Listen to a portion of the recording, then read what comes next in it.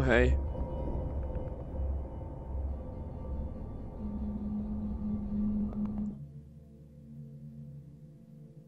Det var jävligt disturbing. Han kvar uppe?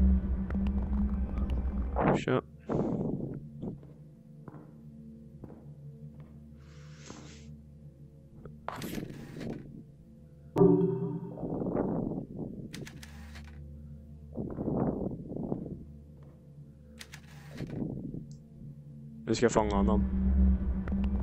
Ah, mysigt.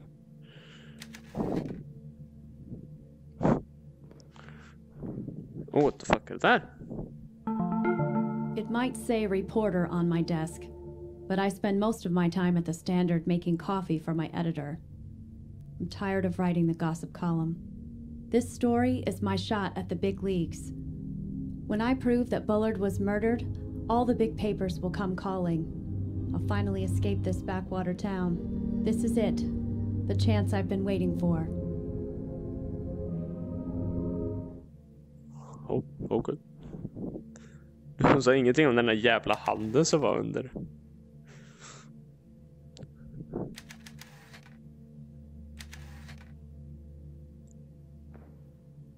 Ja, där är kassaskåpet.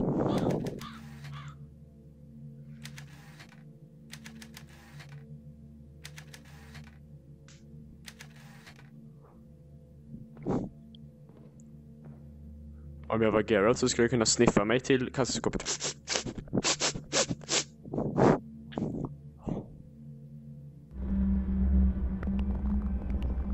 Ja, okej. Ja, där är ett papper. Ja, det syntes det då.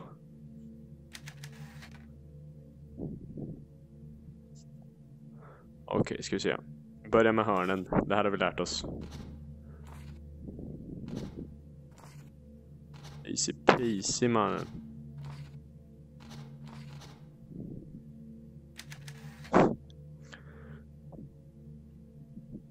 Ett skö- Okej.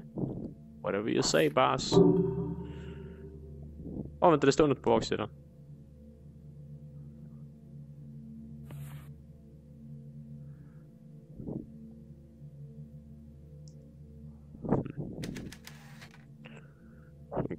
Okej, allt är tomt.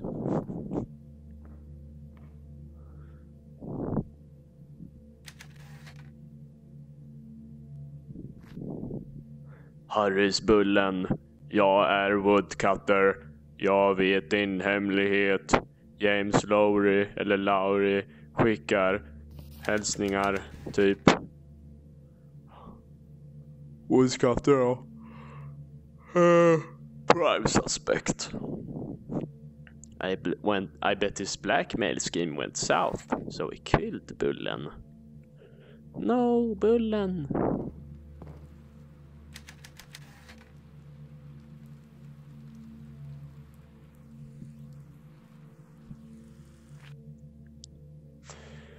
Bullen. Eh,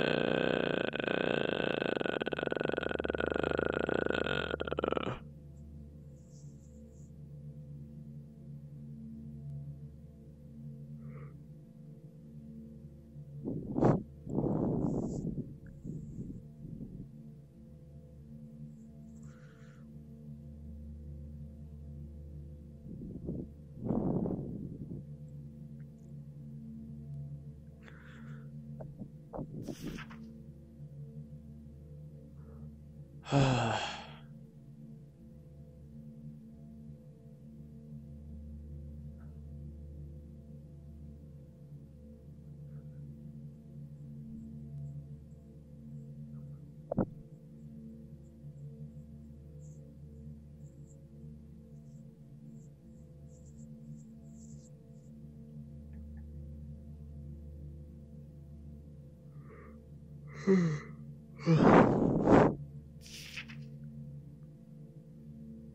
Månen?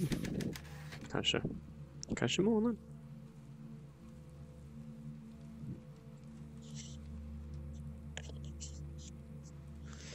Dream thought. Ah, min näsa kliar. Han står kvar där.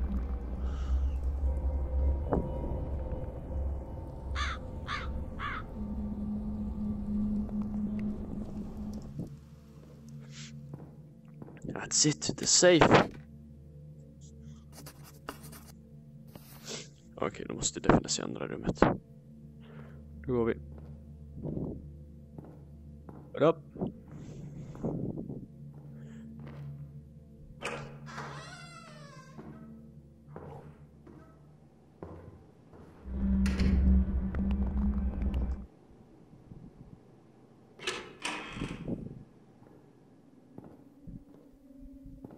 Ja,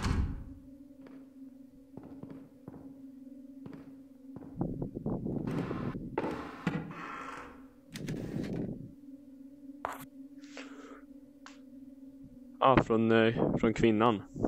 Frun eller vad det var. Here's the latest chapter all typed up. I think this story is becoming very interesting and I'm sure you can get it published. I hope you don't mind, but I made a few edits and inserted a few details here and there. I'm looking forward to your next chapter. To Bobby. Goes to cave. Chapter 3. The man had been dead for hours when they found him. He had crawled halfway up Sarah Johnson's porch steps before coming to rest just outside the door, his feet dangling off the edge like spaghetti that somebody had cooked too long. Old Sarah just.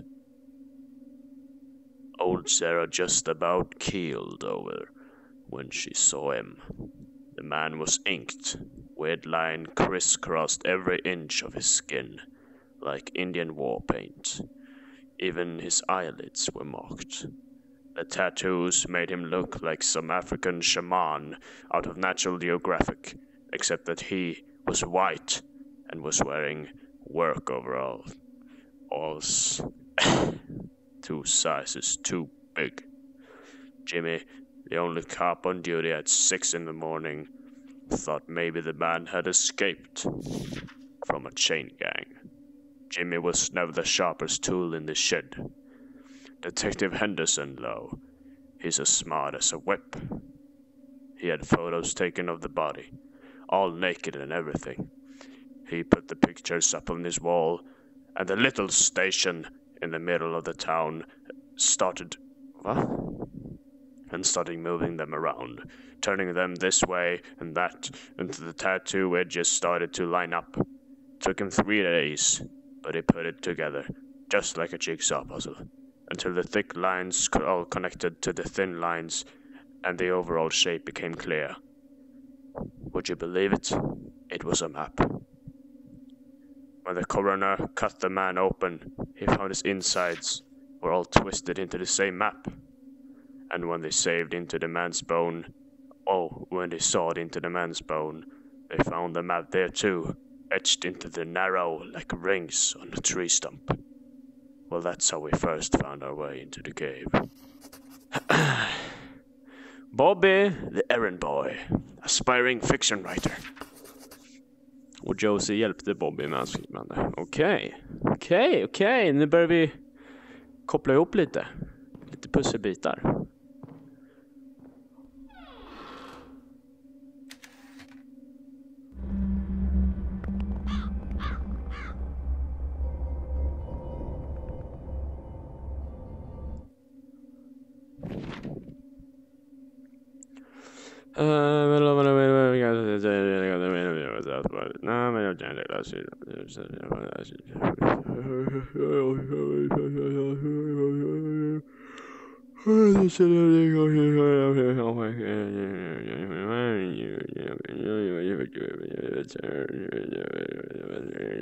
Helikopter. Oh, vi har en pappersbit. En pappersbit. Vadå what do we have here? Dear diary, today is an anniversary. It was five years ago today that I found Dad's name on an old research paper at the U of C. He had written it in 1933, eight years before I was born. I didn't know he had gone to college. I had never really thought about it his life. Oh, I had never really thought about his life. He was just a name on my birth certificate. Dad ran out on Mama. After the war, he had gone off to fight and just never came back. Nej. Josie came to Kansas to look for her father. But now I must read the document because I uh, accidentally misclicked. No, not, not the daily log. Joe's diary, yes. And just never came back. When he stopped writing, Mama thought he'd been killed. I remember her crying at the kitchen table. The war ended. Life went on. Mama died without ever finding out what happened to him. I used to hate him, hated the idea of him, hated my mother a little bit too. I figured Dad was just a deadbeat who ditched Mama because she didn't want a kid. But then I found his name in the library. Something changed. I couldn't stop thinking about him. Deadbeat dads don't study physics, do they? What is he doing now? What does he look like? Is he married to somebody else? I traced him here to Kansas, but finding him has taken longer than I had expected. Okay. Interesting. Interessant. Croissant.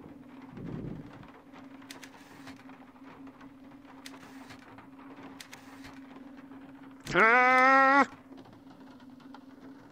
hello.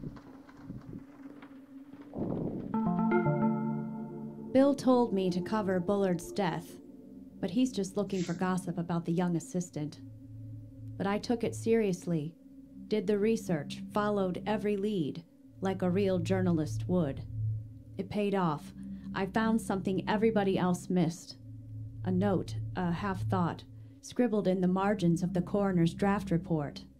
It read, Hypothermia in summer?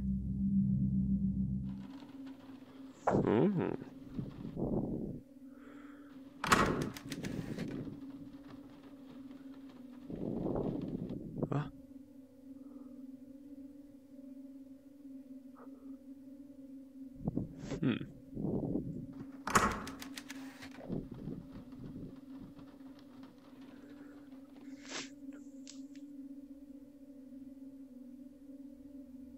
Dial, ja då måste vi vinna knapp.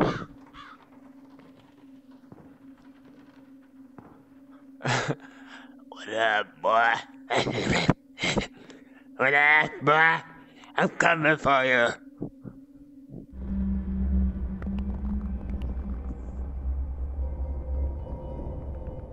Ja, men det är ingen skillnad. Vi behöver dial. Men om jag går hit och sen kollar på honom.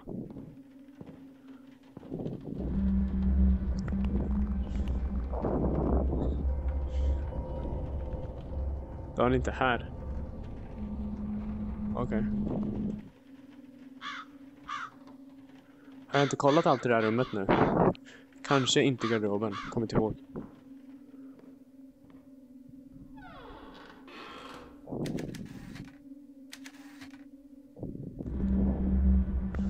Nej, alltså inte ett jävla page. Vänta lite.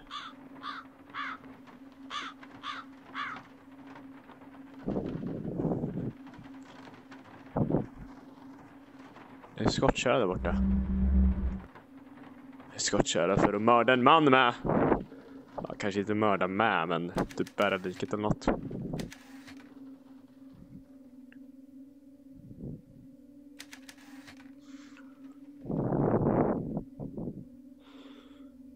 Oj, jag tror jag råkade öppna den från utsidan.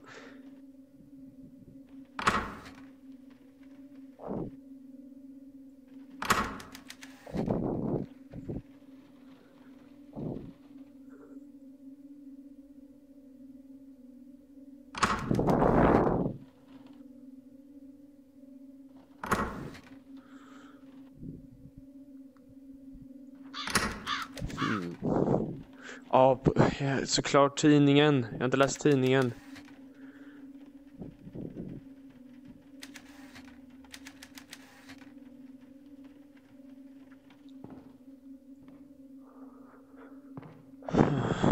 Det någonting som.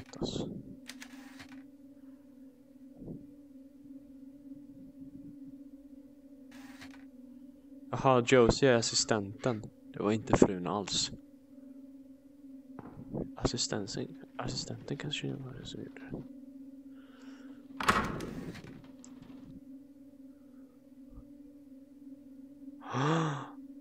Aha!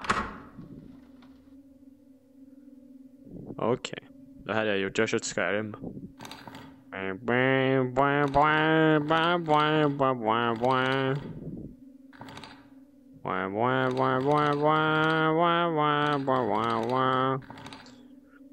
Jaha, den nu. Så det är den man ska utgå ifrån.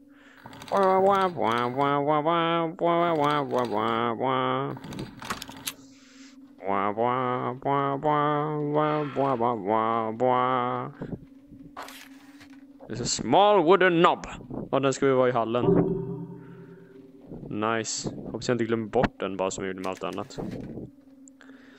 Books. Oh, en, ett papper.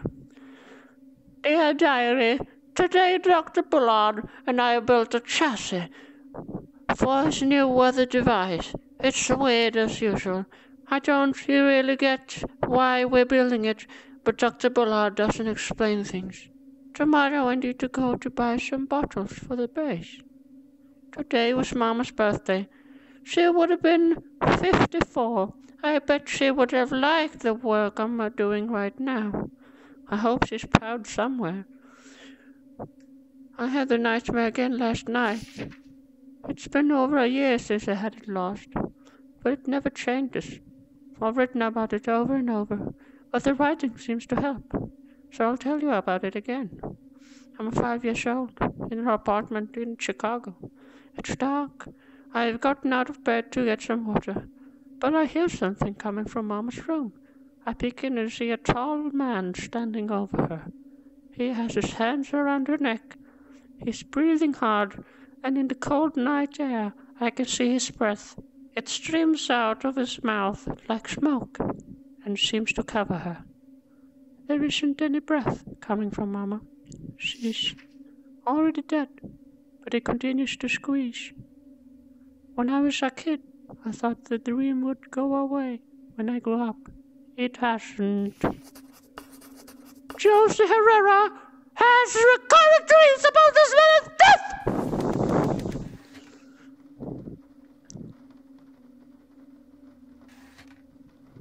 Uh-huh. Ja, den säger bara vad jag sa. Men jag ligger steget före. Ja, jag ligger steget före. Ja, för jag ligger steget... Ah! Jävlar! Ki, ki, ki, ki, ki!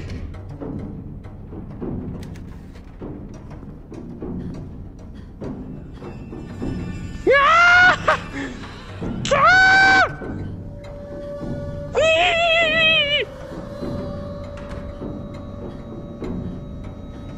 Men vad fan ska jag göra då? Ah!